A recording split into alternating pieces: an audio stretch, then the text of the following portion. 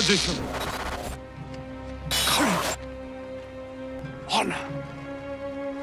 They are what make us. We are the warriors of Tsushima. We are samurai! Sucker Punch began this generation with one of the first major exclusives on PS4 in the open world action game Infamous Second Son. While it may not be the PS4's best exclusive, it gave players a glimpse of what Sony's console could do. So it only seems fitting that Seattle's based studio's newest game, Ghost of Tsushima, would be PS4's last exclusive before the PS5 hits this holiday season. It is obvious Sucker Punch has learned a lot about crafting an open world since its last game. The island Tsushima is one of the most captivating and beautiful worlds I have ever had the pleasure of exploring. But with combat that is deceptively simple and a pretty weak main story, Ghost of Tsushima is more of a fun love letter to samurai cinema than a complete original take on the genre. Personally, I was hoping for the latter. I am Jin Sakai, nephew of Lord Shimura.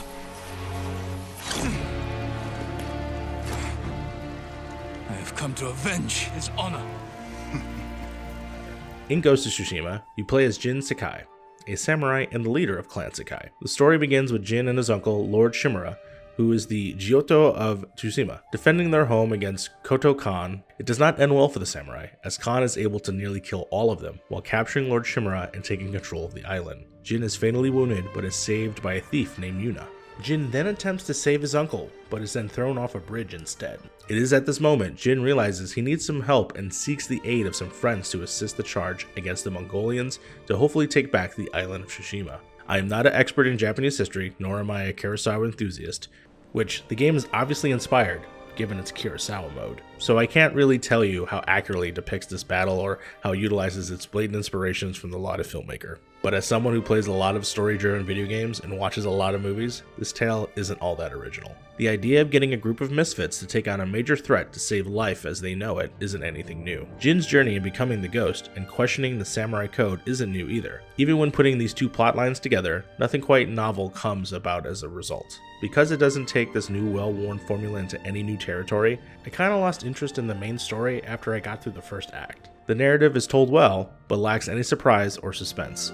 You can tell where Jin's story is heading right away from the beginning. Despite its lackluster main tale, the side missions have some pretty compelling stories of their own. Without spoiling anything, Lady Masako and Sensei Ishikawa's quest lines are among the best told stories in Ghost of Tsushima. I was way more invested in what was happening in their lives than I was in Jin's. Even some of the one-shot missions have more interesting and original tales to tell.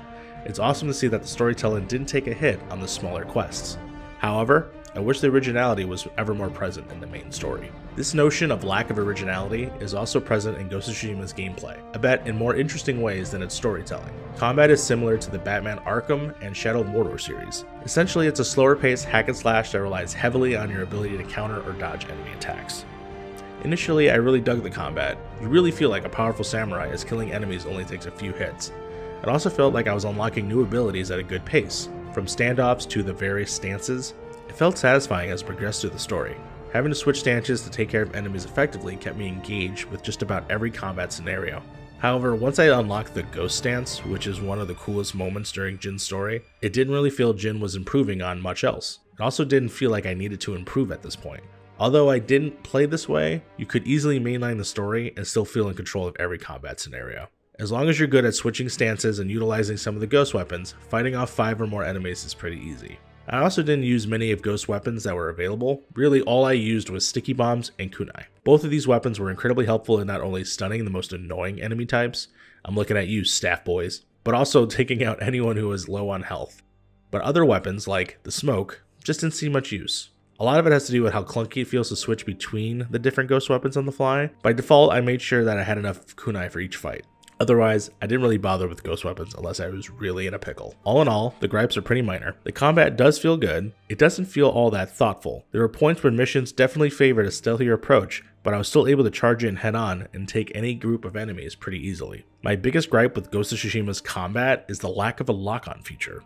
It really feels like I should be able to lock onto enemies, not just so I can single out certain enemies, but so I don't have to also fight a camera which also gets a bit annoying at times. But once I got used to the combat, that gripe became pretty minor. While Ghost of Tsushima's gameplay and story might not be revolutionary, the island of Tsushima itself is a real star. I don't think I've ever been so drawn to an open world.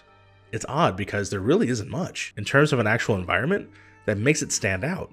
There are even at times when I look at it still, it doesn't look all that great, but how the world is designed and looking at it in motion is a sight to behold. I think some of the intricacies of Ghost of Tsushima's presentation will be written off as novelties, but I really do think it boasts the smartest design that I've seen in a video game. Using wind as an indicator for which direction to go would get annoying after a while. However, it never got old and is an awesome way to clear the screen of more visible indicators, like an arrow or a minimap. The clean HUD allows you to take in all the views, which again look great in motion. Seeing the leaves fall or the grass or the movement in the wind looks really incredible, and at times tranquil.